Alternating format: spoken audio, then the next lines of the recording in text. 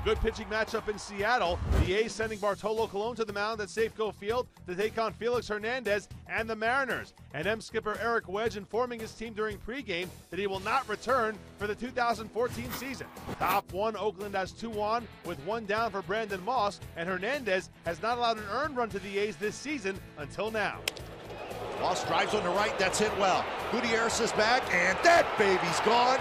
And Moss has hit a three-run homer here in the very first inning, and the A's lead three to nothing.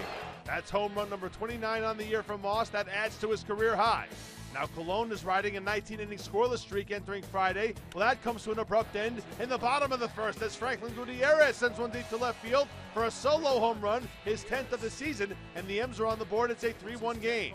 But the veteran righty Colon would settle down. Bottom two, Justin Smoak leads off and strikes out. The next batter is Michael Saunders, who goes down looking.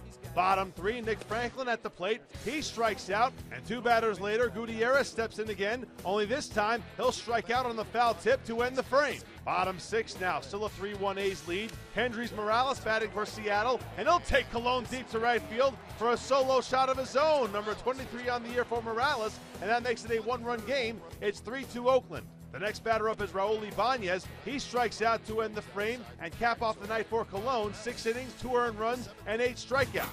Top seven, Oliver Perez on the mound for the M's. He's allowed a leadoff walk and now faces a pinch hitter for the A's, Derek Norris.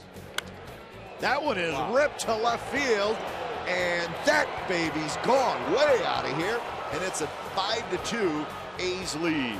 Norris takes Perez deep for the second time this season. The A's had one more in the seventh and two more in the eighth. They beat the M's by a final of 8 to 2.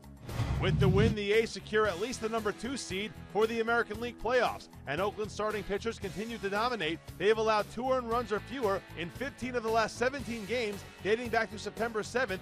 A's starters have compiled a 12 1 record with a 2.70 ERA in that stretch.